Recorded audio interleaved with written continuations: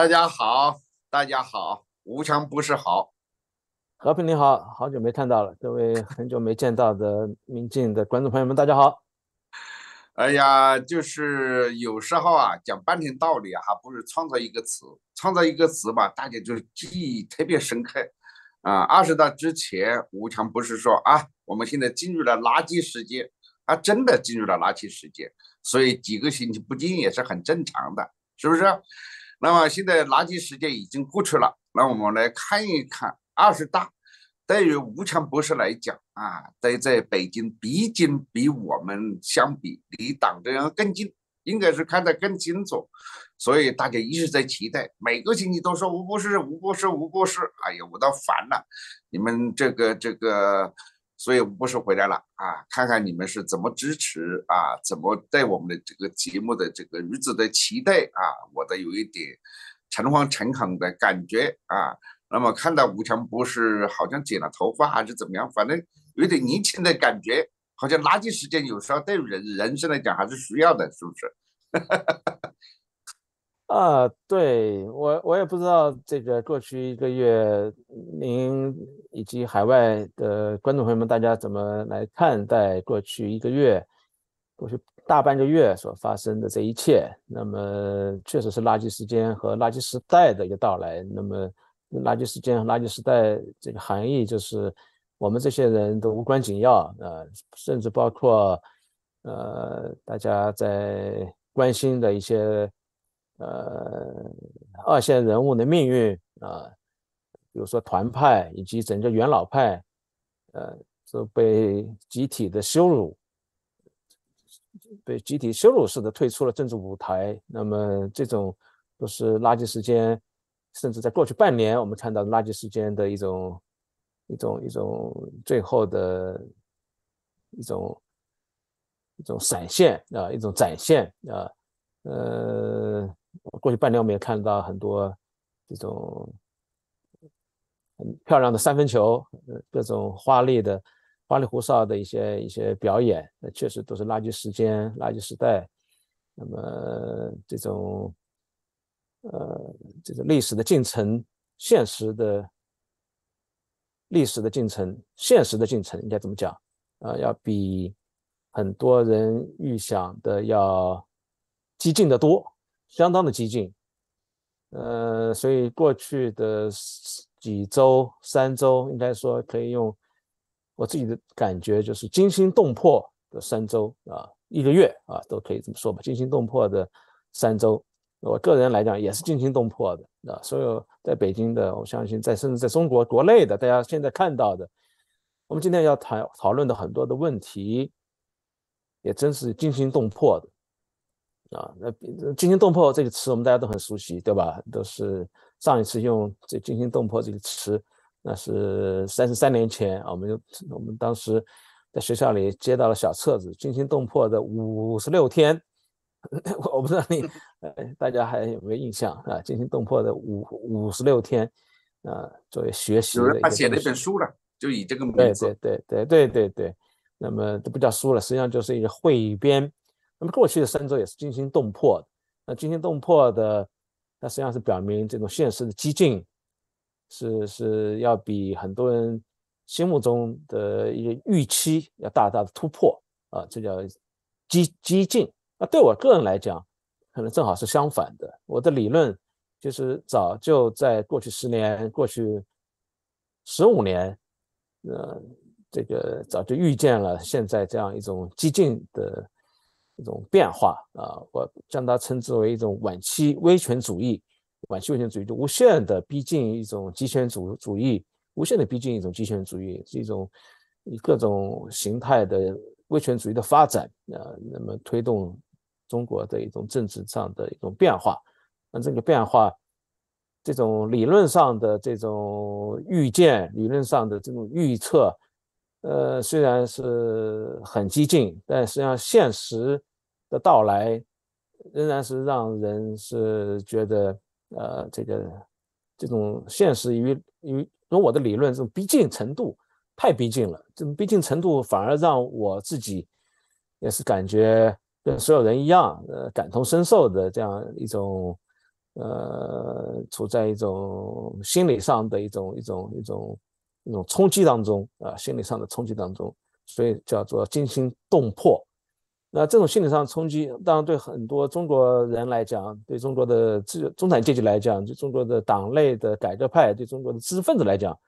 那么当然是呃一种失落，呃一种绝望，一种夹边沟，呃古拉格的一种这种心理啊，呃我们刚刚说的实际上是理论和现实之间的一种巨大的反差，他们对未来预期。远远没想到现实发展会这么快，啊，他们的整个人生可能都被颠覆了。那么可能可能整整不是一代人，几代人的对中国、对世界、对未来时间的看法，啊，他们这个呃一辈子的这种立立身的这样子的价值观，就是在过去三周可能都被颠覆了。那么这才是我们所说的惊心动魄，而且很多人可能经历了两次的颠覆，甚至经历了三次的颠覆。呃，就在过去的几十年，他们一生当中经历了两三次，甚至三四次的这样的颠覆。所以，呃，在过去三周，我我确实在北京能感受到一些老人、老同志这样一种呃这种心如死灰的一种。感受啊，心如死灰的一种感受，不是面如死灰啊，面如死灰我们大家都看到了啊，在在那一幕啊，我们都看到了。那么很多人实际上在在北京，我们我们是确实感受到很多人心如死灰。那么呃，我我们是一个现实主义的政治观察者、政治的见证者，我们不没有必要对中国的。这个这个这个未来本来是抱着太高的预期，但即便如此，很多不抱太高预期的，呃，现实主义者也都在这样一种激进的、一种狂飙突进的一种一种政治进程面前，呃，感觉到心如死灰，感觉到政治上的绝望。那这种绝望感，我相信是我我要向诸位观众朋友们，向和平，向大家所。呃，汇报的。那么我们这个节目，我个人也在刚才也在想，是否未来还能够每周再做一期呢？这样还有什么意义呢？是不是我们这节目是要做适当调整？呃，这个呃，我们节目本身是不是做下去还有意义？我其实都在过去三周都在不断的在思考这个问题。呃，现在我也跟和平商量，那么要不然我们的节目，要不然就歇一歇，歇到明年春天。呃，这个 过渡政权的过渡完成，然后再重新开始做，还是说我们未来呃减量？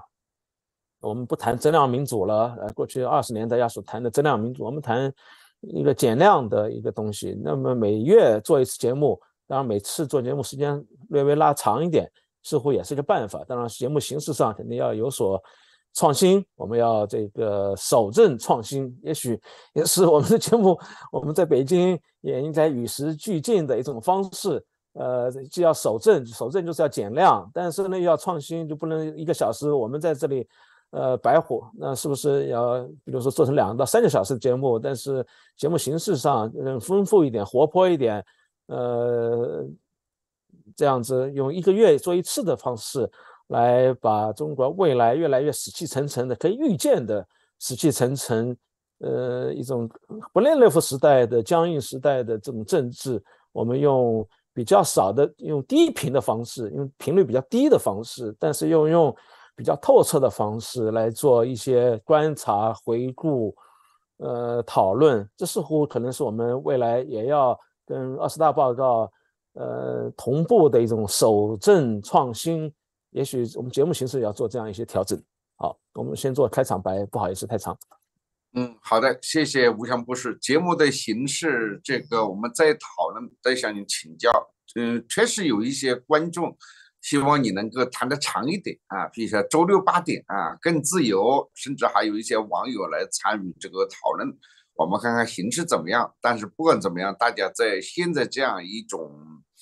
一种这个现在大家动荡很不安的情况之下啊，希望听到一位政治学者的一些冷静的这个思考啊。那么最近一段最近几天吧，就是中国的对外发言都有一个的特点，这个特点就是你们怎么不去看二十大报告啊？那么真甚至包括这个中国的这个新的现在的这个叫叫什么？我不知道是叫外长还是叫未来当外事办主任啊，还是当副总理？这个王毅哈，跟美国的国务卿布林肯谈话的时候说：“你们好好学习二十大报告。”那我们看了以后都很吃惊，对吧？很吃惊。当然，方庆海先生讲一讲还可以。你们投资者确实应该看二十大报告。我认识的很多投资者，那确实很仔细在看哪个行业啊，哪个领域啊，二十大报告是怎么说的啊？这个是一个投资确定的东西。但是你说面对外国的一个政客啊，那么面对一个西方的世界，你要大家去学二十大报告。就像早早一些年啊，这个习近平还是副主席的时候，他去这个法兰克福啊，到法兰克福啊，这个应该吴强不是很熟悉法兰克福书展。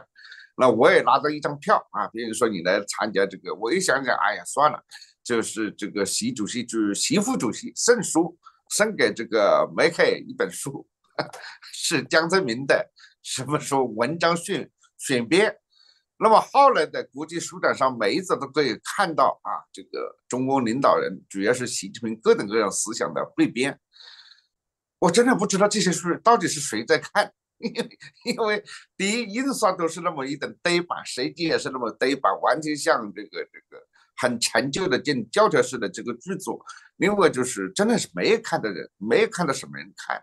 人家就很难去了解一个中国，去了解你什么外交思想、军事思想。什么什么这个思想和那个思想，但是事实上一些基本的政策反而没有解释清楚，反而没有搞清楚你到底为什么要粗暴去打击教培行业，你到底为什么要把另外一个公司突然之间要把它灭掉啊？这些东西反而不清楚，非常的抽象。我现在就是请教吴强博士，就是说有一些的政策，他为什么反而不解释啊？反而搞一些这种抽象的东西出来，让大家没办法理解和领啊这个这个理会的东西。这个二十大到底二十大的报告，我不知道您学了没有，您看了没有？到底里面传递了一个外界必须要看到的一些我们没有注意到的东西。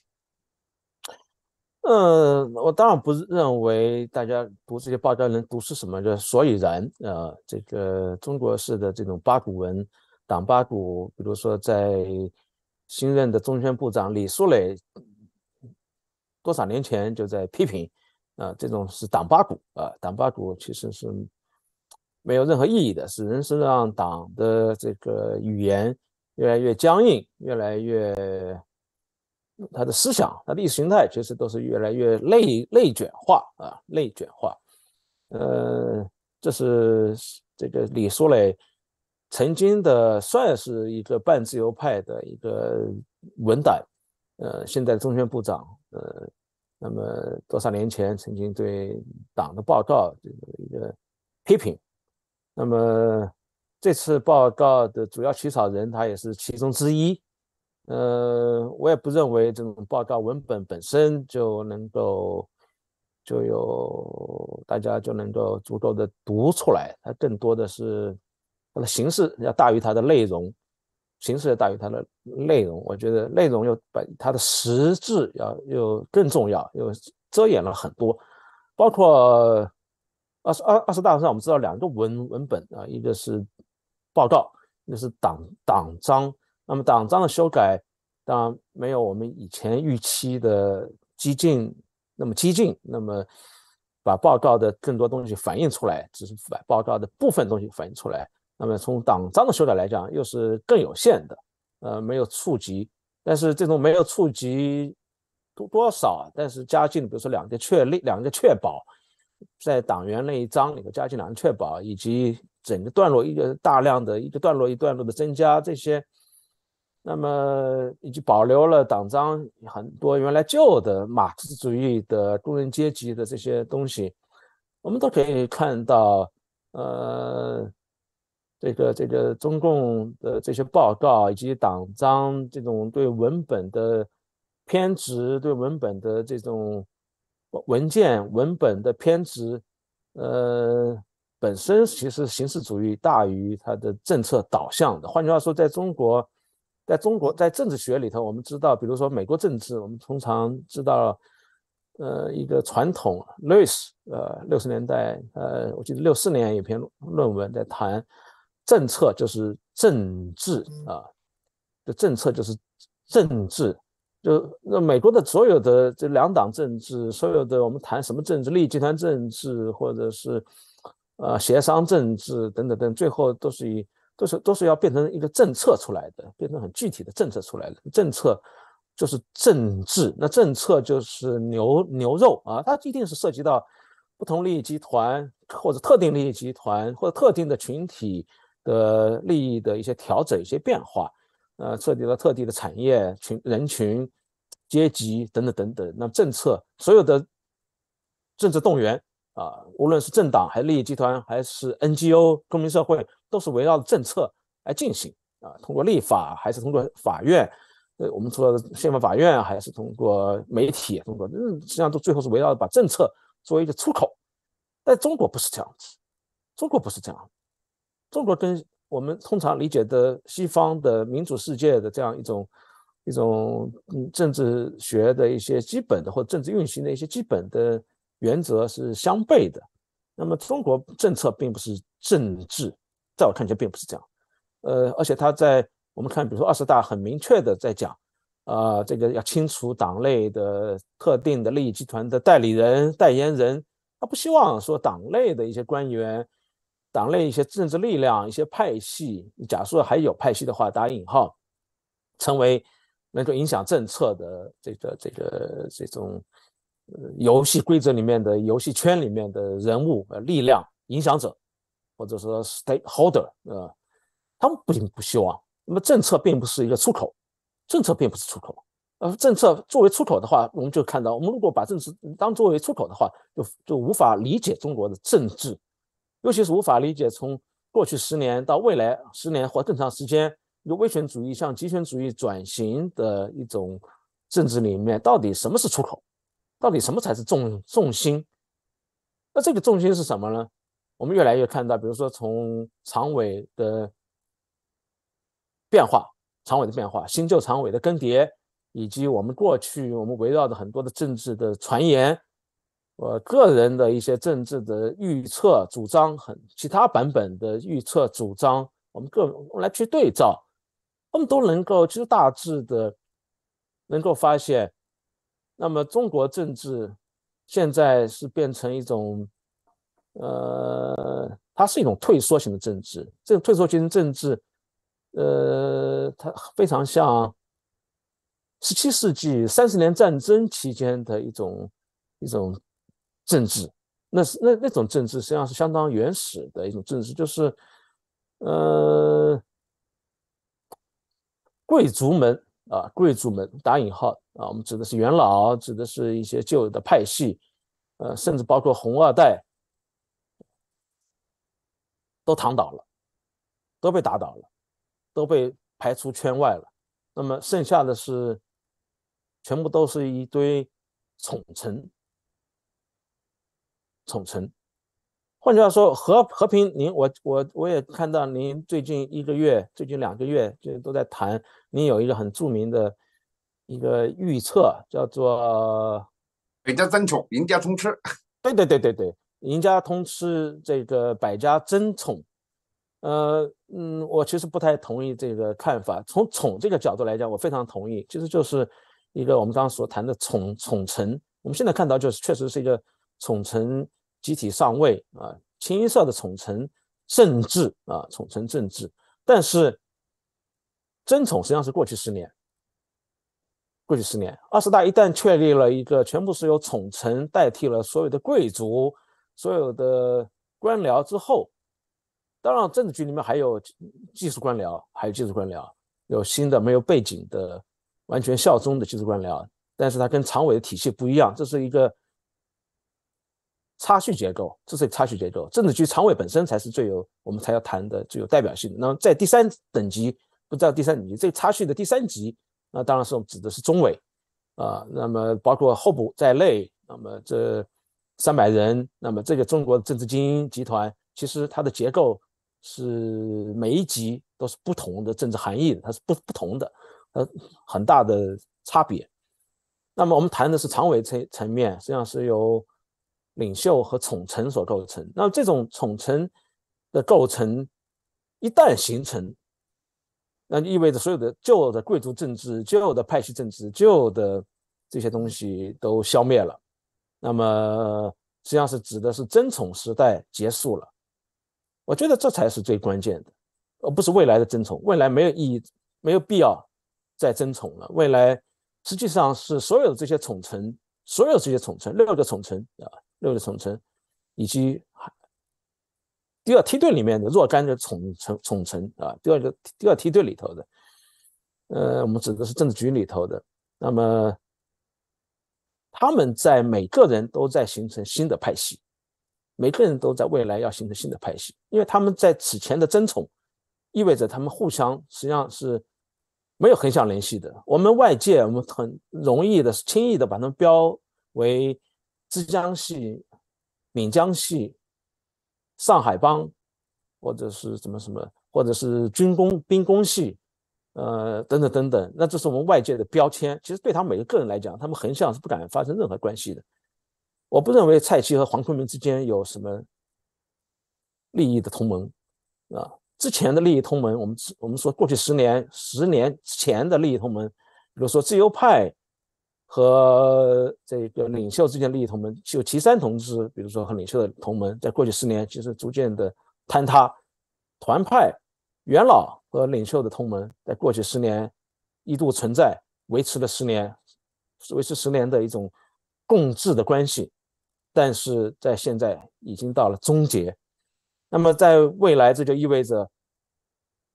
所有的宠臣，其实他们个人在未来都要在为这个宠臣的政治时代，其实在进入到一个新的一个政治时代，新征程。这新征程里面，每个宠臣其实都要为自己的生存而挣扎。争宠当然某种意义上是没有错的，他们无时不刻的都要争争宠，但这个争宠，我觉得，比如像就像对最近我看《华尔街日报》又在有一篇文章在谈，比如说以李强为例为例，在谈他是否是个两面人啊，他一方面有务实的一面，另一方面效忠的一面，他未来如何来平衡？在我看起来，这是一个伪命题。在我看起来，未来所有的宠臣其实他们不存在一个争宠，所有的人都是要与最高领袖保持。一致性，无论他们之前是什么出身，为了为不管他们之前是什么政治立场，不管他们之前是做什么工作，那么在二十大之后，其实从我们从十七世纪以来，我们观察这种宠臣政治、绝对主义的时代、绝对主义政治的发展啊，这是绝对主义政治。我们知道，绝对主义政治的。代表啊，就是我们我们知道著著名的路易十四啊，这个路易十四有一句名言，“Let us more” 啊。那么，那么中国现在其实很类似。那他他的他的这个宠臣政治，他的要求，那当然就是所有的贵族，当然还是要有贵族。当时所有的贵族，他的宠臣，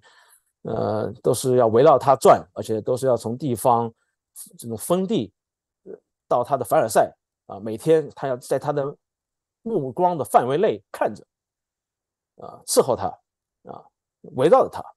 那么这是一种控制方式，这是而且是表示，呃，这是实现一种高度的一种一致性，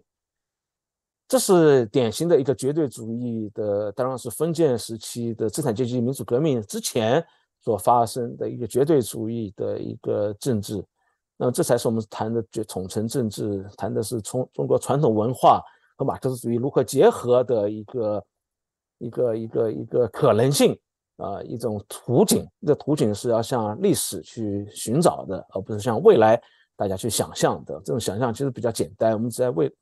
过去历史图景当中就很容易的来找到啊，就是路易十四的这个 l e t a s i m o 那这种情形。这种情形，那么它会让促使每个人、每个宠臣，呃，比如说从王沪宁到呃到到到这个那个常委任何人，以及第二梯队的李书磊、黄坤明等等，他们最后都会发展自己的派系，微型派系、小型派系，为为什么呢？为这个接班做准备。那这个接班并不是呃这个授权的接班啊，并并不是立储性的接班。这个接班，呃，不是这种意义上通常的这个基于血缘的呃。基于指定的这种接班，我觉得大家要要破除这样一种一种一种想法，因为现在红二代整个都被排出元老院，红二代都被排出这个这个政治局了。我们已经看到这种很清醒的一种结果，所以所有上位的都是宠臣，都是出身比较低微、比较低微的人啊。这低微指指的是跟我们过去看到的团派，跟过去看到的技术官僚。呃，过去三十年改革开放所形成的这些，呃，技术很强的高等教育的这个高考分数比较高的精英大学毕业的，啊，等等等等这些体制类的这种这种专业官僚相比啊，他们叫出身低微啊。那么，那么这些人，这些出身相对较低微的，当然也包括一些出一些在第二梯队里头的。专业背景比较强的这些人啊，混合在里头。我们我们我们现在主要谈第一梯队的这帮人。那么他们在这种情形之下，既要保持一致性，那么又要为未来的接班做准备。这个接班是指的是，一旦出现某一种需要接班的情形的接班，而不是说他们被指定来接班。这才是现在我们所说的这个。极权主义政治一旦形成，其实就进入到了后极权主义时代，因为所有的党的一种正常的领导的更替被打打断了，被打乱了，被破坏了。那么，呃，共和呃一个秩序，那么现在处在一种非常微妙的一种悬置的状态当中。那么，这才是所有人。就像斯大林的战友们啊，就像斯大林身边的那些战友们啊，马林科夫啊，赫鲁鲁晓夫啊，呃，这个这个这个等等等等，呃，他们他们所面临的这种接班的这种可能性，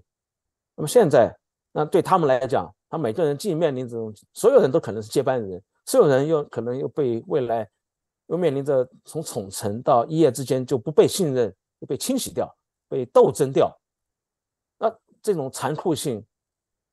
我觉得可能就会让我们重新回到一九四五年到一九五三年苏联的一种政治的动荡当中。那么，这才是这些所有这些人他们会保持高度一致性，而不是说过去李强可能对外资、对市场是很宽容啊，那些未来还会这样。我觉得这个这种这种这种这种看法已经没有任何意义了啊。他他他一所有这些人都是在胆战心惊的一种一种保持高度一致性的这样一种过程当中，要确保自己不会人头落地。我觉得这才是未来的中国政治，它没有什么争宠，而是保持一致性。那么这才是我们所说的惊心动魄的三周过后，就是对上位的每个人来讲。那么他们才是每天都要生活在未来的没有没有 deadline 的一个一个惊心动魄的政治生活当中的一个开始。那么这是中国未来政治的一个新征程。好，我暂时先到说到这里。好的，谢谢谢谢。二十大我们未来还是一个技术性的话题，因为现在二十大啊很多事情还没有落地。没有落地啊！一个是二十大的政治报告啊，未来在所谓的学习或者落实过程中间，大家看看落实的政策上有什什么调整。另外一个是人事到了今天已经过去了一段时间啊，这个重庆、北京市、天津市好像还没有落实下来，甚至国务院的框架还是不是很清晰。不，这些问题我下个星期再向吴强博士请教。那么我第二个问题，呃，不好意思，不好意思，那我我今天我刚才忘了，就您因为刚谈到这个这个政策，谈到这意识形态，谈到这个文本，所以我忘忘记做出一个结论了。那我的结论就是，实际上是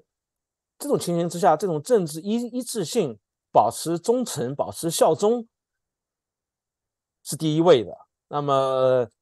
意识形态也好，就文本也好，意识形态也好，政策也好，其实都是变得飘忽不定，都变得飘忽不定，而且。呃，我们对照报告，对照党章，其实我们不包括对照这个时时时代啊，对照时代，而且从理论上来看的话，有很大的虚无主义的东西，很大的虚无主义东西，而且虚无主义不仅是历史虚无主义，有很多的，也包括现实虚无主义以及，呃嗯，各个方面的很多的虚无主义啊，这个这个。那这种虚无主义让我们实际上是这种虚无主义的结构本身，让我们实际上是无法从文本得出任何有效的判断的。我觉得这是最关键。就换句话说，这个文本是不不可靠的，文本是不可靠的。文文本本身是一种有一种理论上的呃一种虚无主义的一种一种结构在里头。呃，它甚至是反结构的，反结构的啊。我们我们读这个东西，我这我我我我我很耐心的在读这个报告，它其实是反结构的很多的东西。那么让别人去读，我觉得不会读出什么东西出来，一定会做出错误的判断。有人说读了这个东西就有信心，呃，这完全是是是，我觉得是不可能的。它一定是也也许就像常识一样，也许他会对，也许他会错。但是如果从文本本身要得出一个确定性，我觉得是一定是是虚无的东西。我觉得这才是最关键。然后在这基础上的政策，包括地方官员，我们今天要谈的地方官员，如果他们不掌握中国未来政治，也就是当我们指的是现实政治，是这种效忠是唯一的一个政治，呃，不在于其他。这种情形之下，他们要根据文本来做出判断来行事的话。我觉得一一定也是会出现很多的混乱，这才是我们今天要谈的一个政治话题。哎，不好意思，我打打断了，我刚刚忘了。对，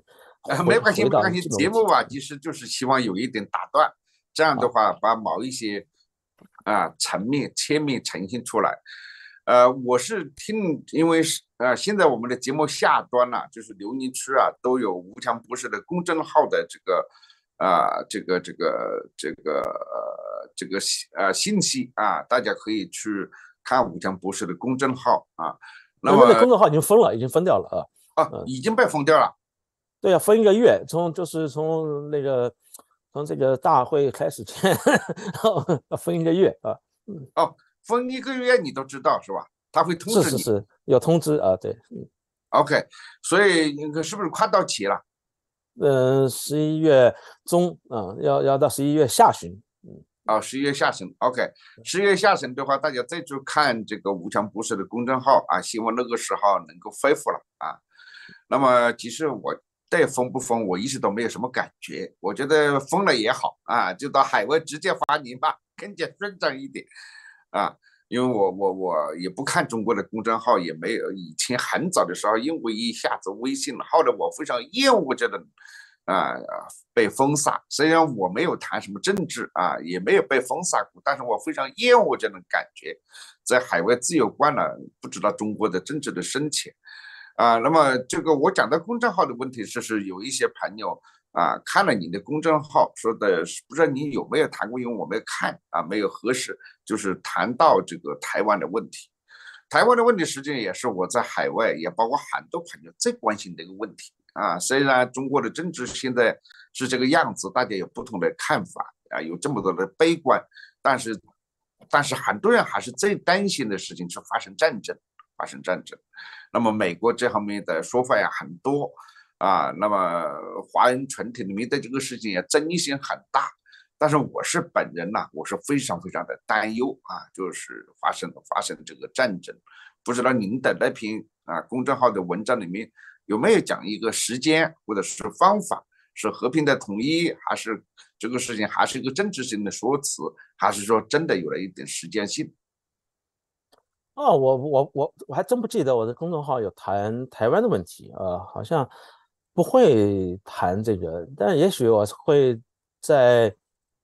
呃其他的媒体可能会谈论过台湾的问题，包括我们在民进节目也谈论过台湾问题。嗯，我不知道大家可能是不是有一些因为引用或者怎么样，有一些这样子的呃感觉。那真不是我的公公众号在谈这个问题。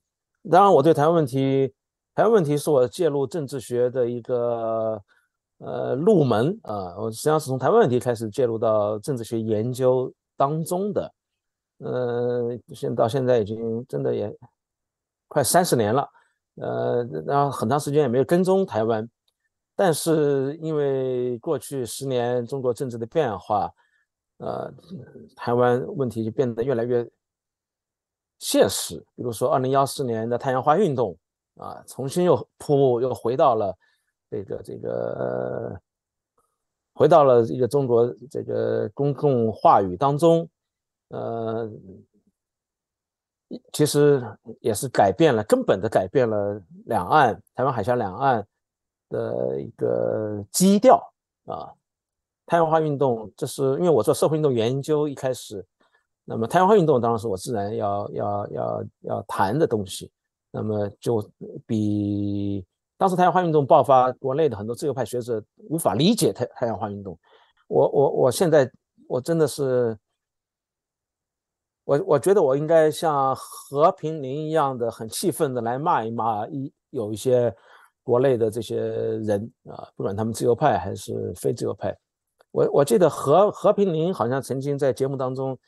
您好像好几次，呃，这个声色俱厉的来这个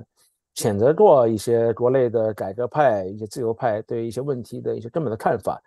呃，我一直没有机会这样声色俱厉的 来来。来谴责，但实际上啊，我不是批评改革派，也不是批评，没有没有，反正我我我的意思其实就是现在又谈到二零幺幺批评有些人对事对事实完全无视，即使价值观对我来讲左和右，即使你是你就政治学的都很清楚，即使左和右都是政治上正常的光谱，而是说呃，如果对事实没有基本上的呃认定啊，那么对民主制度，尤其是对美国的民主制度没有基本的信心。然后对美国的民主有这么多的攻击，我是很很吃惊，我是很吃惊。那么你基本的事实都不认可了，那你还追求民主干什么呢？啊，我们在美国，我们当然知道美国民主有很多问题，但是有一些基本的事实你得呃得认可它呀。我主要是在就是美国民主选举过程中间没有出现根本性的颠覆，这个民主制度没有完全被摧毁。啊！但是有的人就认为美国民主制度已经完蛋了啊，已经怎么样了？我是对这个事情生气，跟改革开放没关系。很好，嗯，我我其实我强调台湾问题，强调太阳花运动也是在要要强强调的这种太阳花运动，它作为一个社会事实 （social facts），它它的这种改变，在当时、在现在、在过去八年，中国大陆的主流的知识分子都认识不到。当当然也认认识不到他，他这个事情对未来的我们现在正在关心的两岸的战争与和平的问题，它的一个根本性的改变。那么，所以我们要谈到，实际上一切的改变就是，就是就从二零幺四年的太阳花运动开始。那么我们也知道，那么马英九因为这个东西下台，蔡英文上台，然后蔡英文到现在都被树为立为。台独运动、台独政治的叫做台独的代表啊，其实确实这么讲有点过于强迫症了，过于强迫症了。但是这运动的发生，我们知道是跟呃香港的战争啊，跟这些都是有直接的关联。那么这种关联性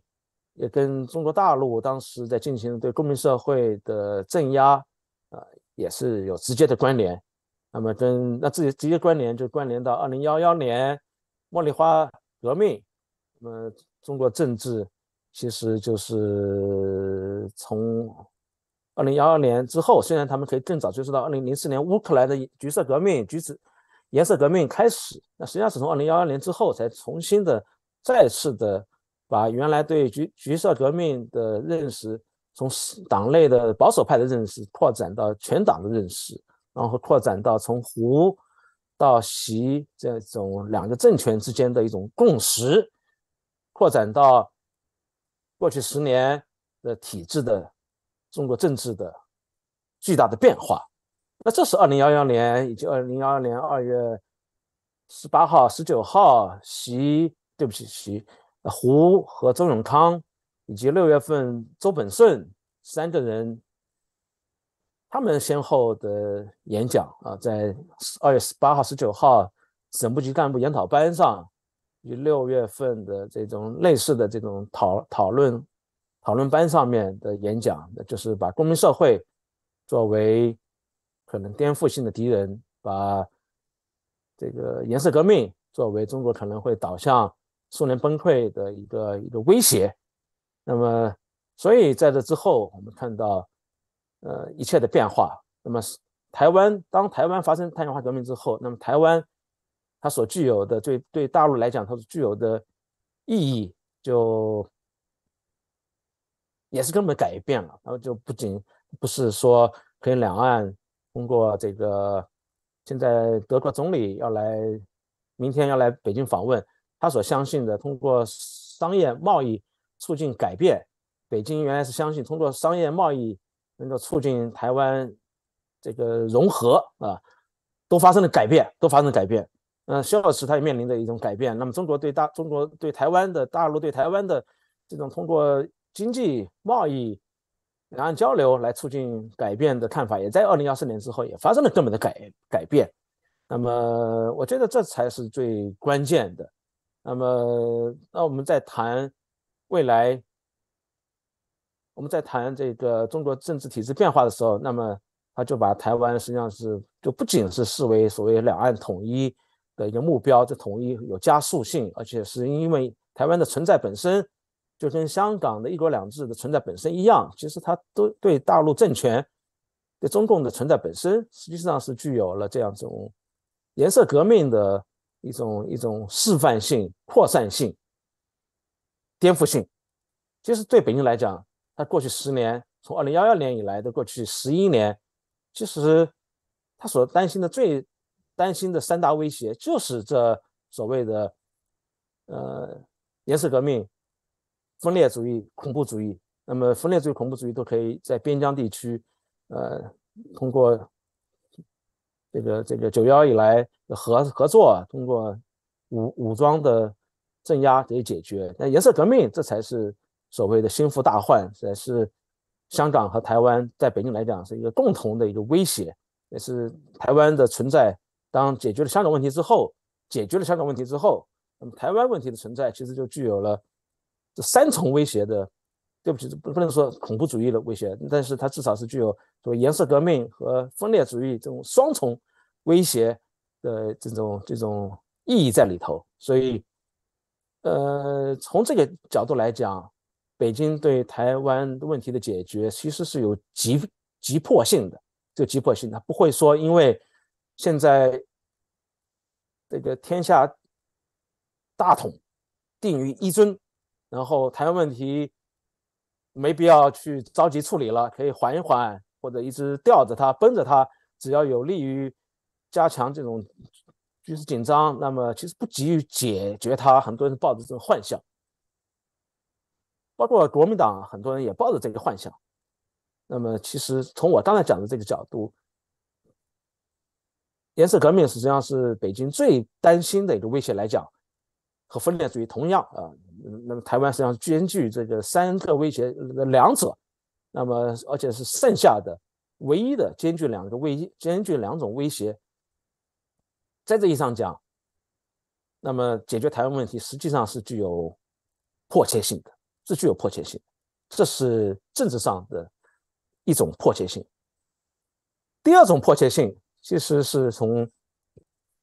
这个台湾问题的国际化的角度，其实是从国际的军事对抗的角度来理解的。我们知道，比如说日本在太平洋战争前、太平洋战争的时候，它面临的，特别是太平洋战争前，它面临的最大的威胁。是 A B C C D 啊，A B C D 的联盟，呃，我们知道是英美和中啊，那么我们知道，中国现在它所面临的在呃这个这个这个印太地区的呃首要的一个战略上的威胁，就是所谓的 QUAD 四四方安全会谈机制，一个亚洲版的小北约的核心，也其实也是某种意义上讲的新版的 ABCD。当然，这是 QUAD。大家可以把它的这四个国家的这个国民字头缩写来重新列一下啊，那么是呃这个这个 A I Z U 或者 A I 或者 A A J I 啊，美国、澳大利亚、印日本、印度啊，大家不呃用用用它到底是哪四个字母比较适合？大家可以随便的组合组合不要紧。那么，在面临这个新的一个 A、B、C、D 的一个对抗的威胁背景之下，而且台湾问题越来越国际化，越来越在乌克兰战争的背景之下，各国都这个亚洲的安全局势，各全国、全世界的，包括联合国秩序，都在发生剧烈的改变之中。我们去年我还在讲，比如说联合国安理会的秩序，其实面临着根本的冲击。对不起，不是去年，是今年初乌克兰战争爆发之后，我们说这个俄俄中俄的联盟的基础，实际上不是中俄的其他什么什么啊，不是地缘政治，不是什么，而是中俄是共享联合国安理会常任理事国的席位，这才是中俄政治联盟的基础。所谓的策应的可能性。所谓中国对俄罗斯发动乌克兰战争能够策应的一个基础，这联盟的基础，中俄联盟的基础是什么？其实很多人想不明白，其实就是中俄在联合国安理会里头共享常任理事国席位，这才是中俄的联盟的基础，不是其他的地缘政治的、经济的、呃小集团的新冷战的其他的这些含义，就是这才是最关键。但是俄乌战争爆发之后，那么越来越多的国际的呼声，特别是中间地带国家或者新兴的中间国家啊，不叫中间地带，中间国家，我们只能看到大家看到过去半年一年，土耳其、以色列、乌克兰、立陶宛，以及更多的类似的中间国家的兴起，包括巴西，巴西的大选刚结束，我们看到卢拉重新当选，左派总统重新当选，那么也提出了类似的呼呼声，就改革联合国的呼声。大家都能看到，这新兴的中间国家，他们在内部政治、在国际政治的双重的压力和吸引之下，都在要求更多的联合国的话语权。那么，旧的二战的亚塔秩序意义上的五个常任理事国的否决权就成为最大的障碍。那么，美国我们也看到他们的表态是对此是开放的。那么，德国肖尔茨，德国的外交其实很积极。我们一直搞不明白肖尔斯为什么很要到中国访问。其实他上任已经一一年了，对中国访问其实是很迟到的。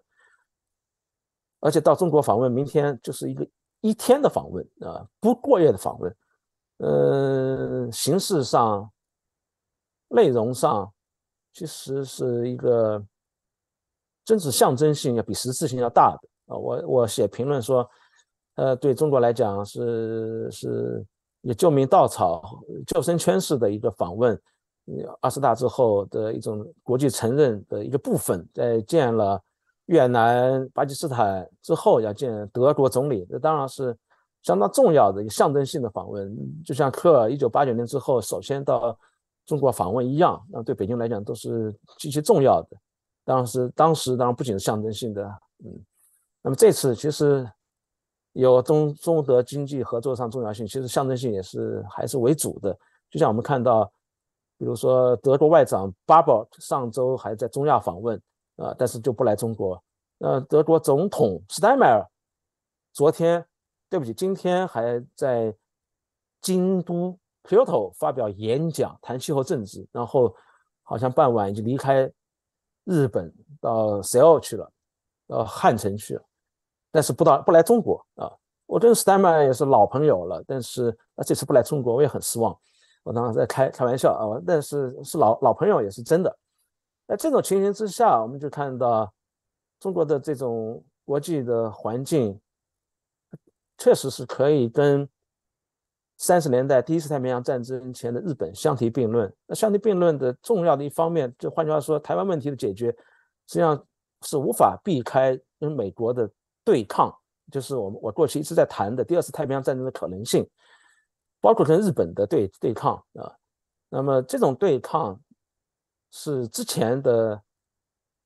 呃，所谓解决台湾问题的武装统一的版本里面所没有的，就是所谓的方案里面所没有的。本来可以在中美缓和绥靖的一种情形下，达成一种某种交易的情形下，呃，那么来解决台湾问题，或者说长期来讲来化解这个问题。呃，如果中美有真正的一种。和解真正的一种合合作的关系，那么台湾问题其实就不存在，自然就化解掉了。但是当中美出现对抗的情况下，出现新冷战的情形之下，那么台湾问题其实就不可避免的要用武装统一的方式。但不可避免的武装统一，就不可避免的要和美国和日本和周边的所有这些，包括澳洲在内的印太地区以及整个北约、整个民主世界都要发生一种对抗性的关系。那么。台解决台湾问题，就是就是意味着要跟美国首当其冲的，要要跟他要发生一个所谓的介入和反介入的一个冲突，所谓的伟大斗争的最高的层面。那这种介入和反介入的冲突，当然是涉及到两种秩序之间的替代，甚至上是所谓的中国治下的和平，也就是北京的对台的统一纲领，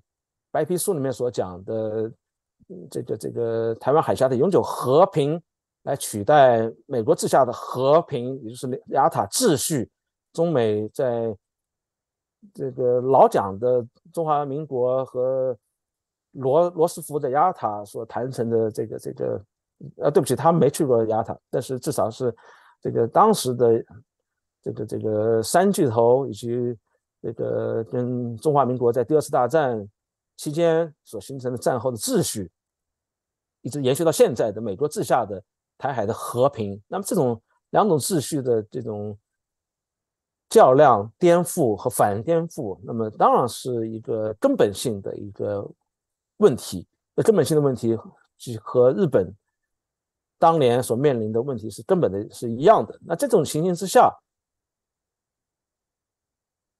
军事斗争其实是不可避免。那么军事斗争，这才是我想讲第二点。那军事斗争的情形，这个时候我们要回顾军事斗争如何成为可能。中，我假设中国还在中国确实是积极的以美国为假想敌来进行解解决台湾问题的一个方案的话，那么我们就要设想第二次太平洋战争的爆发的一种样式。那这种样式就要回到一九三五年到三七年日本的补充海军或者补充造舰。计划，那么我们知道大和舰其实就在三七年，这个正式的这个完完成这个这个定案啊，完成定案，呃，著名的这些，他就为了跟美国的这种决决战，而且是速战速决的一种决战的样式，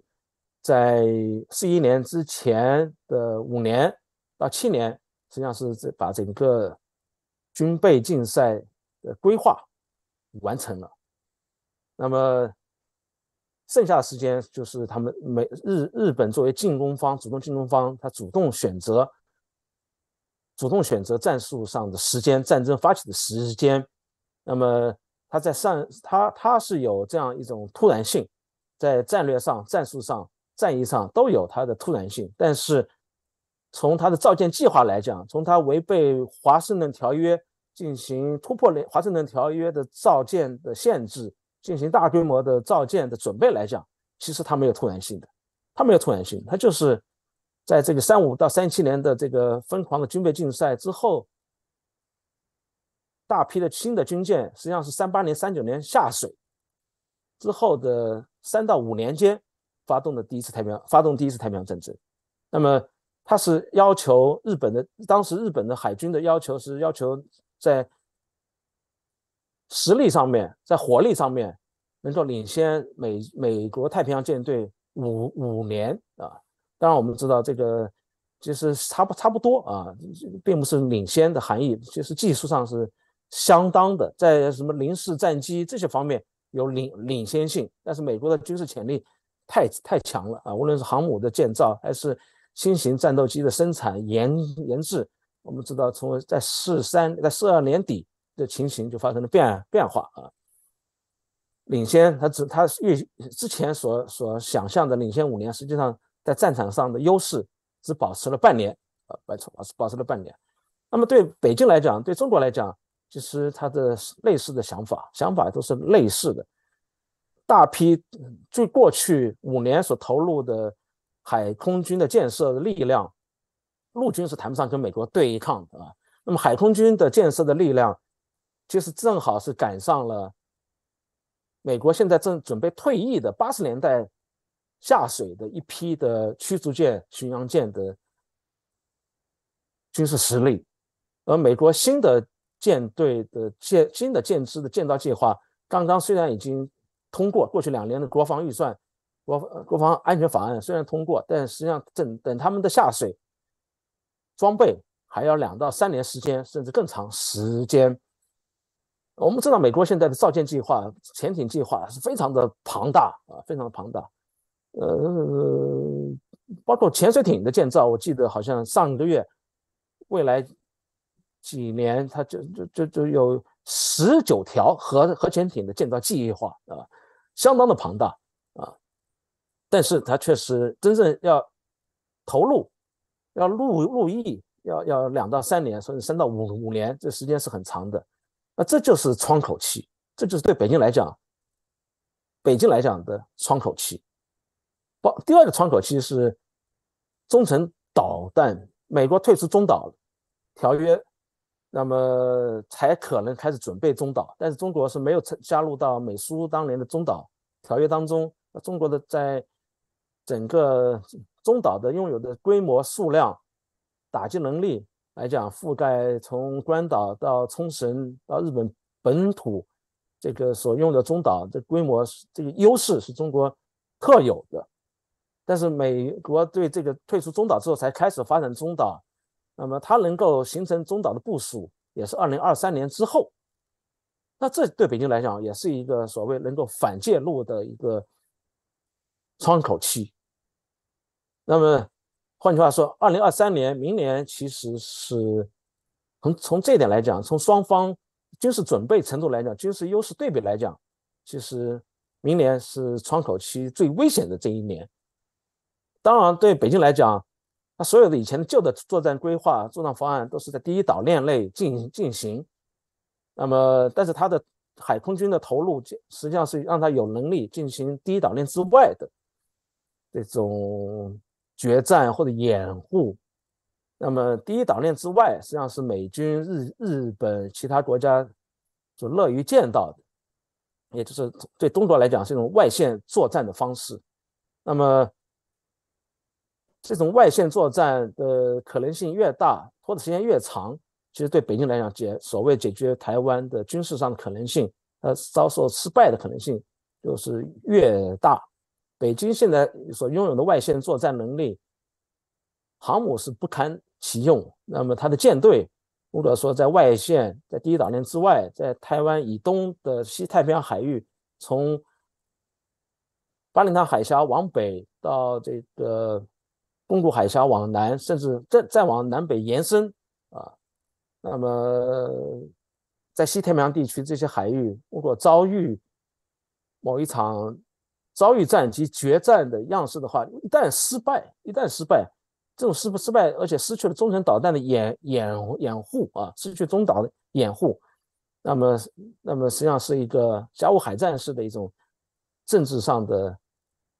效果。这是北京是无法承承受的，北京无法承受的，就无北京是无法承受军事上的失败的，那他只能是发起一个所谓的珍珠港式的袭击的一种先发制人的一种战争，但是它的危险性其实是巨大的。北京到底有是否有足够的冒险能力发动一场第二场珍珠港式的袭击，比如用中岛来覆盖关岛到。冲冲绳到到腊尔坝等等这些所有的美军的在太平洋、西太平洋地区的重要的军事基地，其实只能用通过珍珠港式袭击来进行。但是这一旦这样子，其实就是第二次太平洋战争，就是第三次世界大战，当然是不动用核武器情况下的条件下的进行的一个第二次太平洋战争。那么它的后果。现在的兵棋推演，中国中美双方都是巨付出巨大的损失之后，达成一种很难说谁输赢的一种平局状态。但是平局状态并不意味着解决台湾问题。实际上，对北京来讲，时间拖得越长，那么它甲午海战的这种失败的风险就越高。所以在这种情形之下，那么对台湾。而言，它的未来一年的危险是越是最大的。那么二四年、二五年的危险性会稍微降低。呃，所以在明年的情形之之下，我们要看这个、这个、这个，我们来谈台湾海峡的这种这种战争的风云。呃，但是当我个人认为，即便北京在二零二三年仍然是拥有这种军事上的实力。打一场，打赢一场第二次太平洋战争的话，其实他并没有能力把这场战争扩大和延长下去。换换句话说，他也许能够有实力打一场三天或者半个小时就赢得一场战争，但是没有能力。换句话说，他有能力发动一场特别军事行动，但是没有能力真正的面对一个亚洲的北约。形成一个可能持续一个月到半年，甚至到一年，就像乌乌克兰战场、乌克兰战争现在局面所看到的。那么时间拖得越长，对北京是越越不利。那这种时间拖得越长，实际上是跟现在的台湾以及跨的四方、亚洲的北约形成这种北约这种政治联盟，它的现在开始所进行的军事准备和政治准备是有关的。就每一天的进程，包括二十大本身。他这个文件所想让大家看到的，王毅所说想大家看到，都是在加速西太平洋地区、加速整个太平洋地区、印太地区、中国以外国家的这样一种政治联盟和军事联盟的一种军事斗争的准备，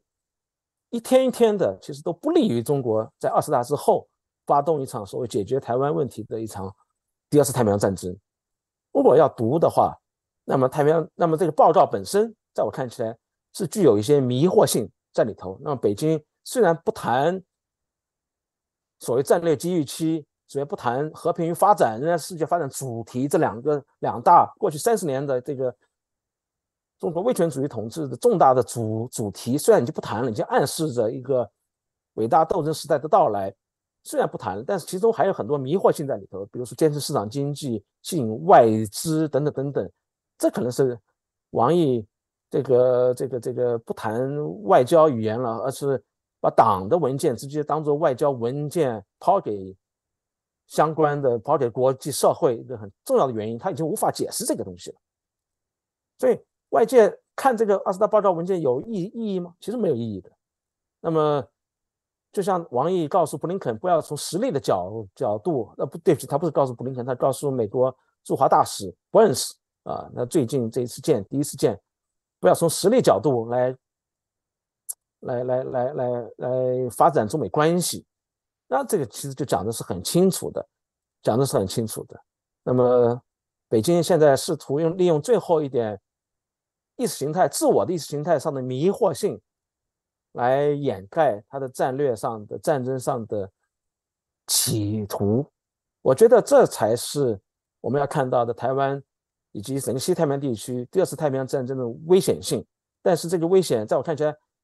当我们看清楚它的危险性之后，其实没有那么危险。只有大家看不到这个危险性之后，如果真的是被二十大报告所迷惑的话，还相信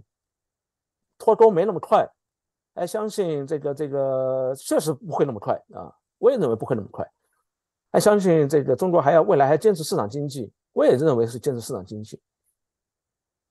但是可能是一种公私合营的新的公私合营的混合混改式的市场经济，一种统治经济啊，其实这种统治经济的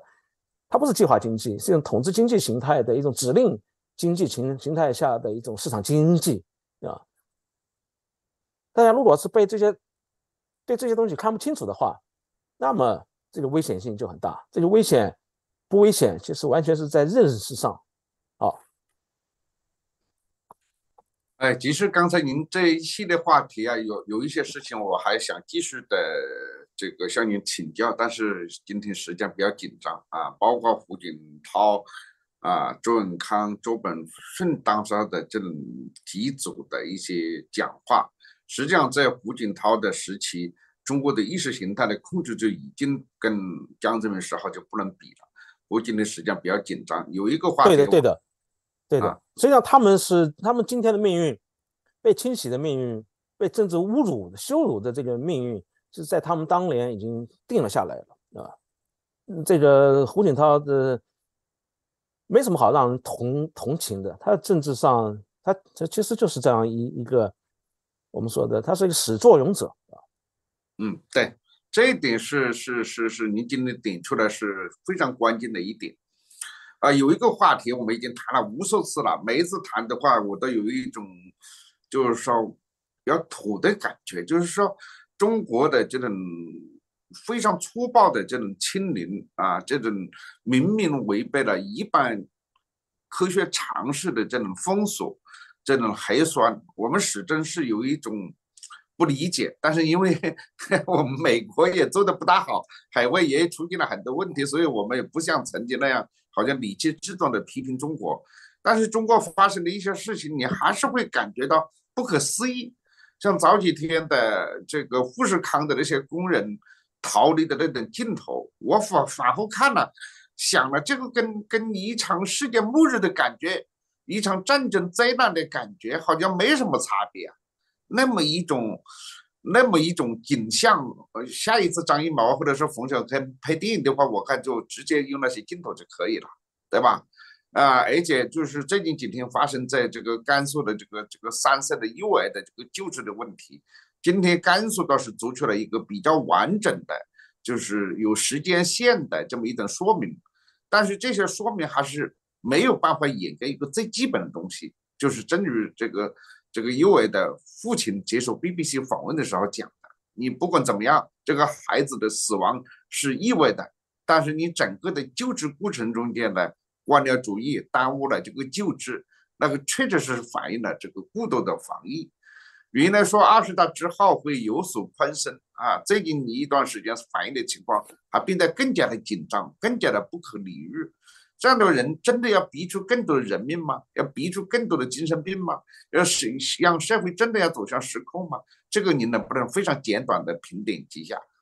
可以可以，那个其实富士康就是为过去三年的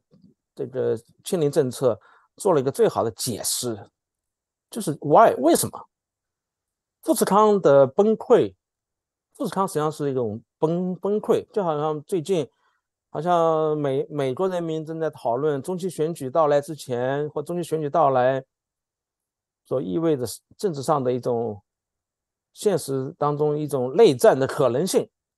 啊，我们都看到是吧？这个这个呃极右翼的以及民主党人都在担，他们极右翼在喧喧嚣一种内战，公然在喧嚣一种内战。那么民主党人所有进步主义者都在担心一场。这种喧嚣会变成一种真实的内战，就好像上一次内战的发生，那导火索本来也很简单，呃，邦联军这个噼噼啪啪用大炮轰一阵子，是吧？我记得是在哪个堡，这这我们说内战发生的这某一个堡，也没有人伤亡，但是掀开了内战的序幕啊。美国的政治是处在这样一种状态当中。其实中国的政治何尝不是如此？但是不是内战了，谈不上内战了。但是是，我们说既要清零，又要生产，又又要这个这个这个久久不久不准啊，呃，既要又要还要啊，就既要这个又清零，又要。保持正常生产生活秩序，还要这个不脱钩跟全球化，要为苹果生产这个 iPhone 十四，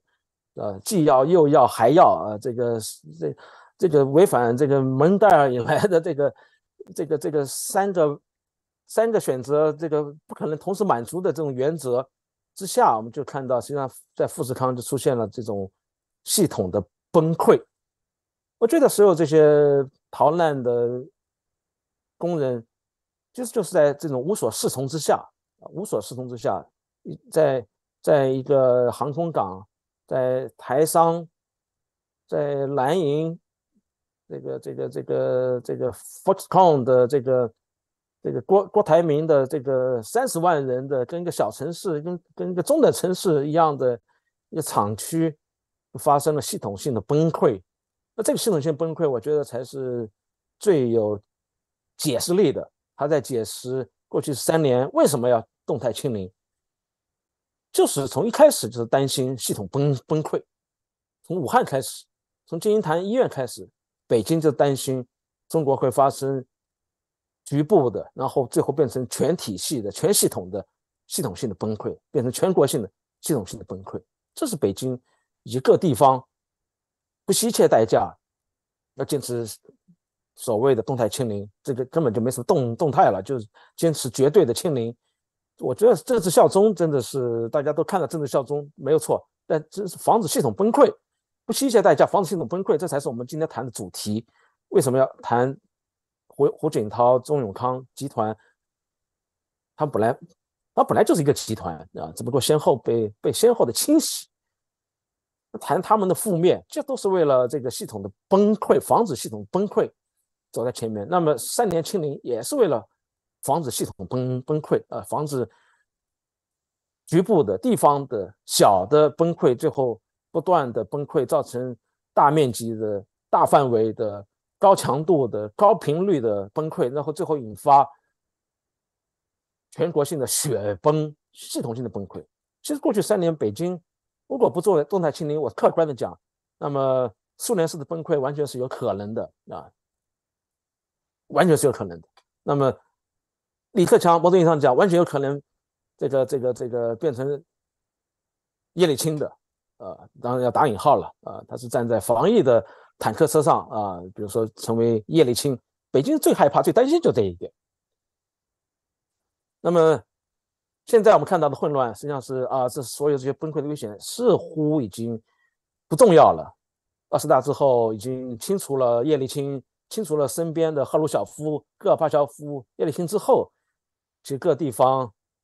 这个这个，尤其是没有在二十大期间被提拔上去的，在南方相对较好的，而且财政也支撑不下去的地方，那么就开始放松。开始了一种分分化啊，开始分化，开始多元化。有些地方现在就不需要那么严格的查核酸了，不需要那么严格的怎么样怎么样了。那么这是一个一个二十大之后，我们说这个垃圾时间继续的延续的一个结果。那么懈怠躺平其实就很自然的，政治上的效忠已经不重要了，系统上似乎也稳定下来了，不用再担心崩溃，局部崩溃。地方官员守土有责，他们已经不再扮演守土有责的这种地方崩溃导致全国崩溃的这种责任意义了。那么，这个这个大叛徒、大公贼、叛徒、公贼，刘刘刘刘少奇当年被强加的三罪名是什么？叛徒、公贼和这个内奸、公贼啊，叛徒、内奸、公贼。这个这个党内的所有的叛徒、内奸、公贼都已经被抓起来了，或者说已经这个被清理了。呃。当然没有真正了，我们就开开开玩笑了，我们只能是开玩笑了。这种情形之下，对地方来讲，实际上他们他的责任已经被卸掉了。党最高层完成了清洗之后，其实对地方来讲，既不需要表演效忠，又不需要来证明他跟这个这个这个这个这个赫鲁晓夫、戈尔巴乔夫、叶利钦的关系等等等等。所以，所以三三个要，既要又要还要，对地方很多官员来讲。已经变成三不要了。这种情形之下，其实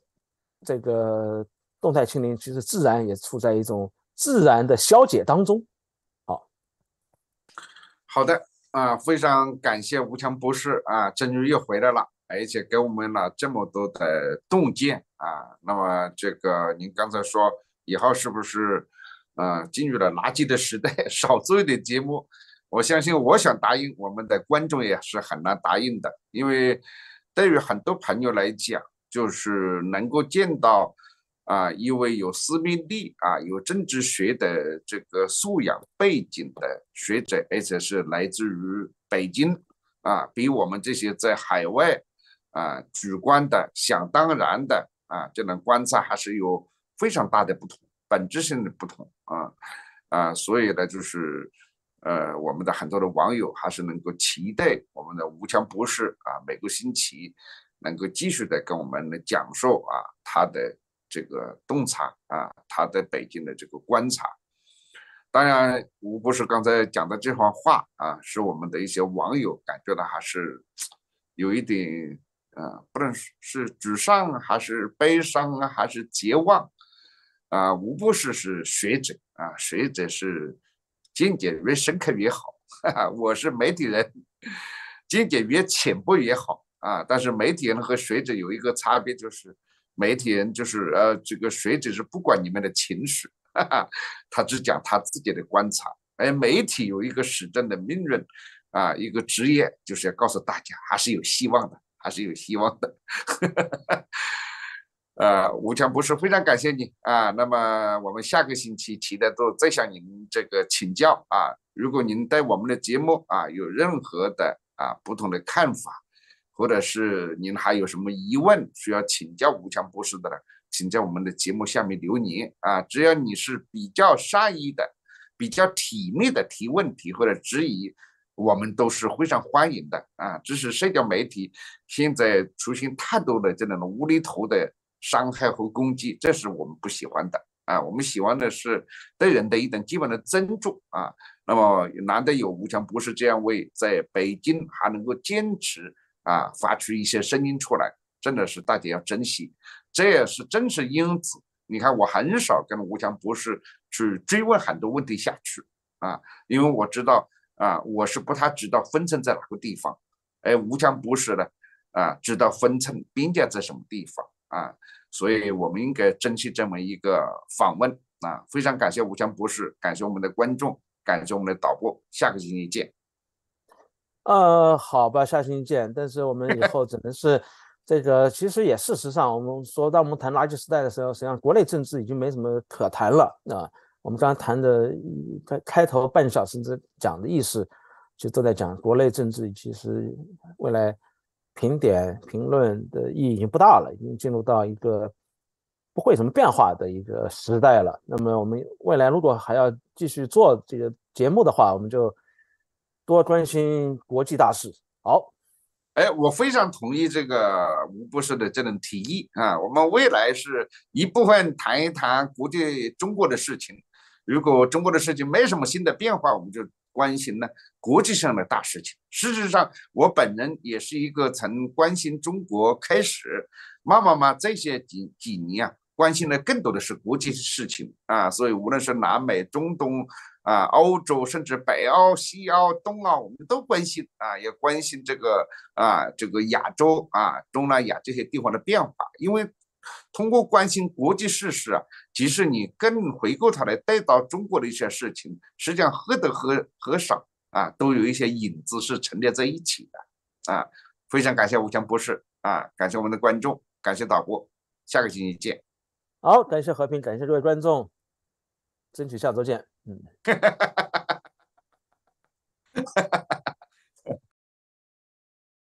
谢谢您收看《明镜火拍》，敬请您点赞、订阅、打开小铃铛，并分享给您的亲友。恳请您利用视频下方的超级感谢支持我们。